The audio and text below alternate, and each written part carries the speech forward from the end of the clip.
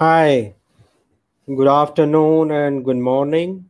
So, today, as a part of Global Regenerative Medicine Expert, which is a uh, YouTube channel dedicated for regeneration and uh, rejuvenation. So, we are starting a series on nutrition, and uh, we are lucky and fortunate to have uh, Dr. Gabriele Azzini. He's an international renowned uh, nutrition expert and well respected orthopedic surgeon. He frequently gives international talk. And uh, today we are starting our first series, the first session with him only. And uh, the topic today for is because now whenever uh, people have a lot of people they have joint pain and we know one of the most common cause of uh, joint pain is osteoarthritis of the knee and different joints. Above 60 year of age usually around uh, 18% of female and 9.3% of the male. They are having osteoarthritis if they are above the age of 60 year. Usually we come across about what actually is the role of diet and nutrition uh, in progression of osteoarthritis or any arthritis or any joint pain and what we can do uh, for that.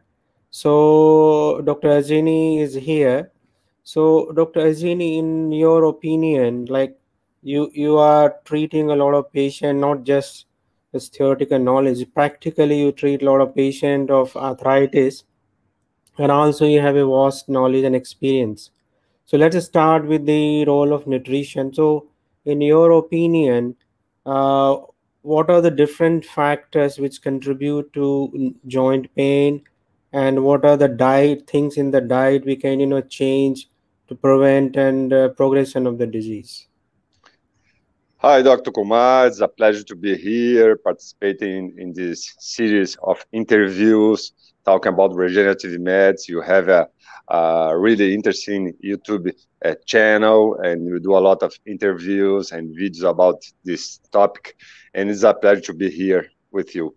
And I think the, the biggest problem is that usually people uh, hear for, from their doctors that there is uh, nothing to do and they can eat wh- uh, whatever they want it, it will not make any difference. But we know that because of the we can read some new uh, research uh, articles studies that shows that what you eat really uh, can change your body environment and can decrease inflammation inflammation or increase inflammation. And it's really really important that you can choose the right food right meal and uh, using this kind of uh, approach you can decrease inflammation. Of course the your meal intake is the most most important thing. And after we can add some supplements because we have some deficiencies that we can treat with this kind of substance Okay, so if we talk about like diet, usually you know, we come across that there are certain diet like fish oils we have, vitamins we have, we have certain uh, uh, other materials like supplement, nutrient, or bone broth. So let's start with the diet. So fish oil, uh, we we are reading, you know, for a long time, and there are some literature also but still there is confusion like uh, what actually is the role of fish oil and is there any evidence for this and how much we should take and how it works? Yeah the fish oil is uh, a really important uh, nutrient because we need the the the not uh, animal kind uh, uh, of omega 3 like the DHA and the EPA that uh, that are the types of omega-3 that are were found on, fish oil. So we need this kind of uh, substance to produce our cells, our um, neurons, all kind of substance, and they they really have uh, anti-inflammatory properties in our body. So we need this animal omega-3 from fish oil or can be from krill oil, but we need this and it is very important because research shows that some uh, uh, populations like the Eskimos from uh, Greenland, they have a, a, a relationship, a relation, a ratio between omega three and omega six, like one to one. And in our society, we have a relationship like a ratio of one omega three to twenty omega six, and we know that omega six has uh, some inflammatory properties. So we want to uh, to reach a balance like one to five one omega 3 to five omega 6 it will be perfect and the problem is that especially here in brazil or europe we eat a, a lot of uh, salmon but they are created in uh, fish farms not uh, collected from the ocean so they this kind of fish they don't have the uh, animal forms of omega-3 like the EPA and DHA. So we are thinking that we are eating health foods, but they are not health because we are. It's not the wild fish with the real uh, good amount of omega-3. So it's very important to use this kind of substance to uh, try to fix the ratio between omega 3 and omega 6, which is the, the most important ratio for, for our uh, uh, anti inflammatory properties. So, if you start uh, taking some supplement with omega 3, you have to look of the content of the supplement because sometimes you, you have uh, 1000 milligrams uh, capsule but in, inside this capsule you have just 200 milligrams of omega-3 so you, you can take a fish oil but without omega-3 and the, the quantity that we need to decrease inflammation is usually uh, higher than 1.5 milligrams uh, 1.5 uh, grams of omega-3 so if you take like a, a one one gram capsule but with just 200 milligrams of omega-3, you need more than uh, 15 capsules. So we need to find a, a good form of omega-3 supplement with high quantities of EPA and DHA. Right, right, right. Yeah, you're rightly said. And it's not only for the joints, they are antioxidant and they help in different other uh, restoring and helping in the well-being. So let's talk about the vitamins. Now we know that certain vitamins, particularly vitamin A, D, A, K, they have antioxidant properties and they're also helpful in preventing the joint pain. So, uh, what are the common vitamins one normally the people, like a general person or a, from the general public, they should include in the diet and uh, what is their role actually? how they can help in relieving or alleviating their symptoms? Yeah, there are a lot of uh, very important vitamins that they should include in their diet, and also not just in their diet, like the vitamin D. We have to be exposed to the sun to start the production of vitamin D in our skin, and this is one of the most important vitamins in the world, especially this time with this pandemic situation, uh, infection. So we need vitamin D not just to protect our joints, but also to increase immunity, to protect from uh, viral infections and so on. But uh, talking about uh, joints, uh, there are many studies that show that vitamin D is very important, not just to decrease pain, but also to uh, uh, break the, the, degeneration of our joint because it starts start to decrease the the quantity of uh, enzyme, uh, metalloproteinase that break collagen in our joints. So it's important to use vitamin D to protect protect our collagen type 2 in the cartilage. And also it causes a change in the environment. If you we have the deficiency in vitamin D, we have a more inflammatory environment and when you start to use these nutrients like vitamin uh, D or vitamin C, which is another uh, great uh, anti-inflammatory, antioxidant compound, we can start decrease the uh, inflammation, especially inside the joint. Because if the whole body is inflamed, it's impossible to have a health joints. So we have to decrease the inflammation the whole body to decrease the inflammation in the joints like the knee, hips, and so on. Right. So, what could be the usual requirement for a vitamin D for a healthy adult or the male and female? Yeah, there are some some questions that you should ask to, to your patients. Like, we have to dose the the amount of 25 hydrox vitamin D, which is a precursor of vitamin D in the blood.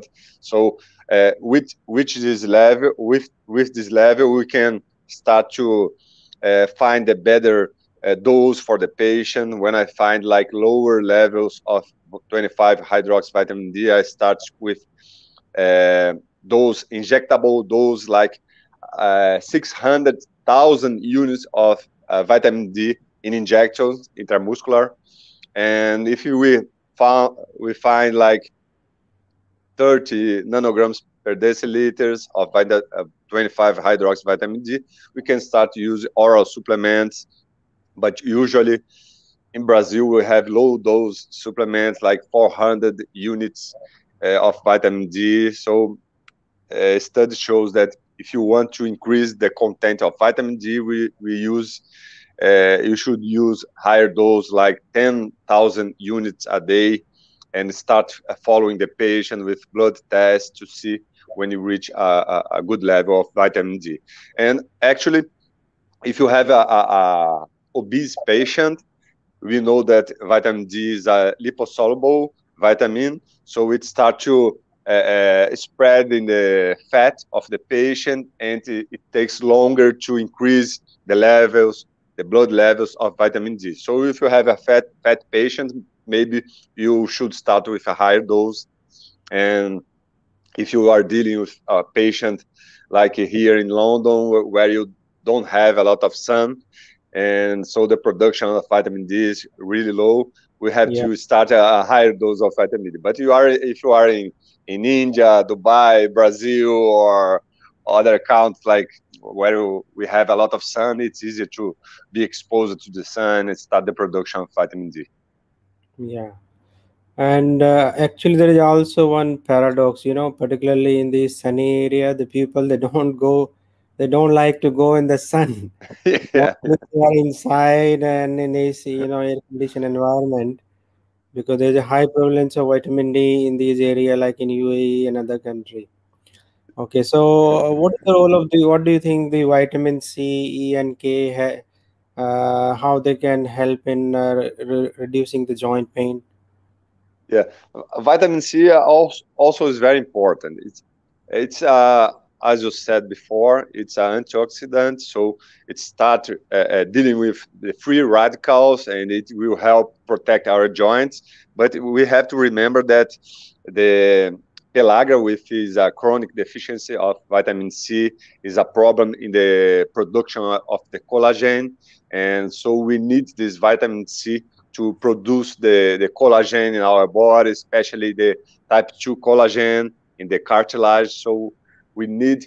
And I usually like to, when I use like the collagen type 2 to, to stimulate the production of our collagen, I usually mix it with some nutrients like vitamin C and other minerals like magnesium, calcium. So I think it's really important. And nowadays, we are not using a lot of vitamin C. If you go to a place and ask for a orange juice, but they did the juice like one hour before, uh, you really don't have any vitamin C active inside the juice. So it's difficult to, to reach a good amount of daily intake of vitamin C. So the best thing to do is to use uh, natural fruits like lemon, orange, but fresh in your house, in your in your breakfast to start absorbing this uh, good quality vitamin C? Well, usually, uh, particularly when we are kid and younger generation, and our parents, you know, they always, uh, you know, push us to eat more green leafy vegetables, dark green, some more proteins. So now I think uh, evidence is coming that green leafy vegetables they also help in reducing the joint pain so what is your opinion about uh, these things yeah we have to remember that the, the the green in the vegetables is caused by the chlorophyll the chlorophyll molecule which is a, a like the hemoglobin in our body, and the center of the hemoglobin that carries oxygen is the iron. iron. In the chlorophyll, the center is the magnesium. And so if you eat some green vegetables, green leaf, you have a lot of magnesium. And magnesium is a mineral that uh, participates in more than 300 reactions in our body. And many of these reactions are to produce energy, hormones, decrease inflammation. So it's really important for your bone, your joint. I think it, magnesium is one of the most important minerals uh, to decrease joint pain, and I think I I prescribe magnesium for every patient with joint pain, osteoarthritis, bursitis, tendonitis, and this is the the, the mineral that you can find. It's uh, green leaf. Of course, we have other substances like polyphenols that are good anti-inflammatory substance, uh, other vitamins, other mi minerals, and it's very important to eat uh, uh, health food because especially when you look of the, the to the diet that they are they are having in the United States, a lot of fast food, uh, sandwich, uh, French fries, they don't uh, add some uh, natural food, the real food in the in the daily basis. So we need this natural food, uh, real food, uh, to protect our joints and our body for any kind of degenerative disease. So, what are the newer, uh, uh, you know, the nutrient or the supplement which are available for joint pain? one of the, the, the newer supplements that I I'm using now is the fisetin. Fisetin. There was a study with more than ten uh, senolytic compounds like quercetin and others, resveratrol, but fisetin shows the the the best senolytic capacity. Uh, senolytic is like when we kill the old cells in in our body like the senescent cells. So when, when you get older, we start to accumulate some senescent cells, and these cells are unuseful, and they start to produce a lot of inflammatory substance like cytokines, interleukin-1, interleukin-6, and when you use these uh, senolytic compounds like the fisetin, which is found in strawberry and other fruits, we start to kill these cells and uh, study shows that we can uh, protect our body for from the development of osteoarthritis and decrease inflammation. Uh, there is a big study uh, happening in Cleveland Steadman Clinic, United States. They are testing the the fisetin in patients with uh, knee osteoarthritis, and that they will release the results in next year in 2022. But they are showing really good results with the use of fisetin in patients with osteoarthritis. There are some uh, botanical extract, you know, which are being now used for for last many years, dry from avocado, soybean, and uh, they have been shown that again they they prevent inflammations. So, do you have any experience uh, with these uh, two products? Yeah, yeah, we, use in Brazil. We have a, a, a market product called uh, Piascledine that is a mix of these oils from avocado and soybean, and they really shows that decrease inflammation and decrease joint pain in patients. So it's something that we use a lot in Brazil. Uh, actually, uh, here in the UK, I didn't find this supplement, but I think it's a, a good quality supplement to to deal with joint pain. And there are certain uh, you know the we can like dry fruits the walnuts and the brazil nuts. And they have also been shown that uh, they reduce basically cholesterol and uh, like brazil nut has selenium which is there in the bone so they also uh, uh, have been shown that they reduce, they help in relieving the joint pain. So, uh, what about this glucosamine and chondroitin? For many decades, you know, the people are using every day, and uh, some of the insurance company they say they're just a supplement. It doesn't. It's not a disease mode. It doesn't change structurally the arthritis. So, what is your take on uh, role of glucosamine and chondroitin, and how much we should take, how long the effect lasts, or when when does the patient actually start seeing any relief in the pain? Yeah, when you apply uh, our knowledge in our patient, we have to keep studying, read the new articles, and we know that glucosamine and chondroitin are one of the most used supplements all over the world.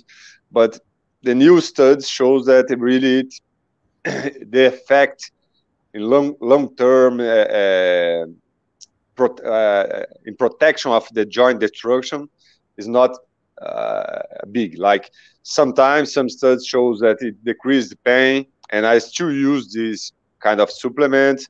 But to protect the, the, the, the joint, I think there are better supplements, uh, some new nutrients that are showing uh, uh, more effect in this purpose. And usually, I don't know in other parts of the world, but in Brazil, they are really expensive. The glucosamine and chondroitin compound usually are used in a dose of 1.5 grams of uh, glucosamine and 1.2 gram of chondroitin, and they are really expensive.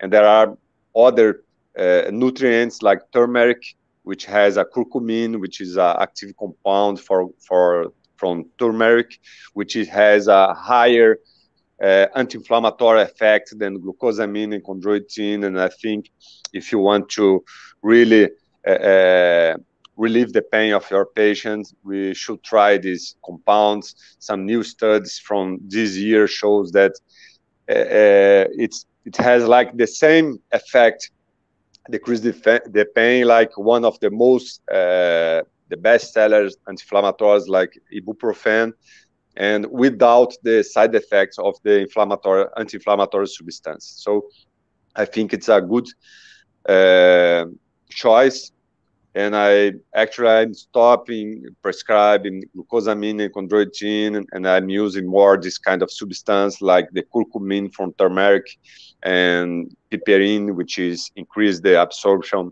of the curcumin. Yeah, curcumin. Yeah, and, and there are certain easily available product at home like garlic and the onion, and uh, now some studies are showing that like garlic has allicin which reduce the you know the symptom in uh, arthritis. It also had like diallyl sulfide they also reduce the joint pain. And onion has quercetin. And uh, for ages our uh, you know grandparents and parents they are using them as a part of their routine food. And even some uh, old parent they just take only the garlic and some onion every day in the morning. So yes although there are a lot of commercial product are available which combine different kind of nutrient but yes i agree with you they are expensive. And uh, they have other preservative also and not everybody can afford.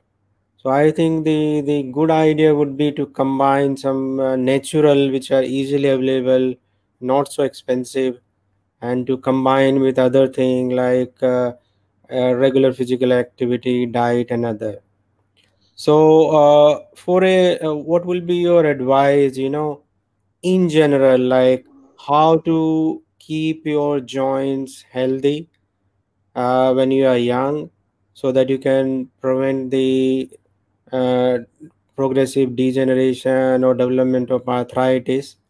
And particularly the this young population you know who are not or the young kid or adolescent who are not very keen to go outside and play most of the time they are on gadgets. They like to play video game they don't like to go outside. So what would be your advice to this young generation and the adult population? How to keep your joint healthy? Yeah, yeah, yeah. It's a, a huge problem because they don't want to practice sports, do to play uh, football, basketball. They want to play video game all day long, eating a lot of fast food and snacks, and yeah. usually they are uh, uh, fat than we were when we were young, of course, and uh, this is a, a good a big problem because they don't eat uh, real food. They don't like to eat fruits and vegetables. Only uh, uh, fast food, this kind of trash food, and they don't do exercise. And we we know as an orthopedic surgeon that the the muscle are, are very important to protect the joint. You could uh, be the, the healthier person in the world, but if you don't have muscle, you uh, increase the, the overload your joint with pressure, and probably it, it, it will be easier to get a, a, a meniscal tear or a, a cartilage lesion. And my uh, my advice is to eat real food to avoid these uh, refined carbs that you find everywhere in bread, uh, uh, sweets, sugars, and do uh, practice, uh, use your muscle. So play football, play volleyball, basketball, sports, and start to to uh, produce, stimulate the production of more muscle to protect your joints. I think it's uh, the, the, biggest problem with these young uh, children. Yeah. The another big problem comes like now a lot of people are vegetarian or converting to vegan and uh, when they're looking for nutrient for the bone particularly like vitamin d so they don't like the animal source of these uh, vitamins or the calcium. So what is your take on those? How they can you know they can also maximize the benefit of getting nutrient but not from animal but from vegetable source? Yeah i have a lot of patients uh, that don't want to, to deal with animal uh, products because uh, of the environment or they really don't like and it's very important to to keep in mind that we need some type of vitamins that we you we only find in animal products like the the B12. We, you can't find B12 in vegetable source. Of course, we have low amount of B12 in chlorella, but you have to take like one kilo of chlorella every day to to reach the amount that you can find in one piece of uh, uh beef. So I think the biggest problem is this lack of vitamins, especially B complex. And also, we know that uh, uh, animal products are a perfect source of protein. So, if you rely just you know vegetables, uh, you can start uh, eating less protein that you need, and this is a big problem because you need protein to produce your bone, your muscle, and every kind of food. So I think if you really uh, decided to not eat any kind of animal uh, um, food, you should uh, really go to a doctor, do some blood tests, and use some supplement. You can find some uh, like omega three not for, from the fish oil. You can can find this omega three from from algae oil, which has the animal forms of omega three, DHA, and EPA. But you really need uh, uh, uh, to follow and to to do some blood tests to check if you need some kind of nutrient, some kind of vitamin, because it's really dangerous to follow some uh, trends without thinking about your the the result in your, in your body. Now there's also you know some uh, uh, push from the pharmaceutical company the young you know people who are doing uh, intense workout or gym activity or bodybuilding. And uh, they are taking a lot of these collagen, glucosamine, and uh, and uh, like I also receive a lot of patients, and they want this supplement. So uh, they are not having any arthritic problem, but they basically want like a as a preventive uh, measure, or they feel that they feel more strong when they take collagen, glucosamine, or high dose of vitamin D, and they think it enhances their performance also. So, what is your own take on this? Yeah, I, I believe that when you do a, a intense training, uh, you we have to remember that the the, the exercise is, is stimulates uh, inflammatory uh, cytos, uh, release of cytokines in our uh, muscle cells and in in our body. So if you do a lot of exercise like this, bodybuilders like train hours in the gym, or people that do uh, marathon, this kind of thing, they really need more uh, uh, nutrients. And sometimes they can't find the, the, the, the good amount of uh, nutrients in the food. So they this is the kind of people that actually need uh, supplements. And to decrease this inflammation caused by the exercise we usually use vitamin d vitamin c. And if they want to increase weight or gain muscle we usually can add some um, creatine, which is a, a source of energy. So it's very important to increase the the power to to do the exercise. And also, study shows that creatine increase the the muscle fiber, so it's good for gain weight, protect the protect old people from sarcopenia and dynapenia so I think it's very good to add some supplement. I like to add some whey protein, which is a good source of uh, good quality protein. So I usually use whey protein, especially old people that don't like to eat a lot of meat, a, a lot, a lot of uh, beef and, and, chicken. So I usually add some uh, dose of whey protein twice a day, depending on the necessity but I think it's very important, especially people uh, doing intense exercise, to add some uh, nutrients like vitamin D, vitamin C, collagen, creatine, and so on. Uh, thank you, Dr. Gabriel. This was an excellent talk. Dr. Gabriel has its own uh, YouTube channel with uh, more than 1.5 million subscribers, and he has a lot of detailed videos covering all the different new trend and general well-being with millions and millions of views. So it was an honor uh, to be sharing uh, this talk with you, Dr. Azzini. And uh, this was a general first session. Maybe in the subsequent series, we will go in on individual nutrient in more detail. And idea is to give the evidence-based information. And uh, thank you, Dr. Gabriel. So uh, uh, once again, I would like to thank our viewers. I hope uh, we try to cover the general uh, questions which are commonly asked about uh, how to reduce the joint pain, improve the well-being of the joint, prevent arthritis.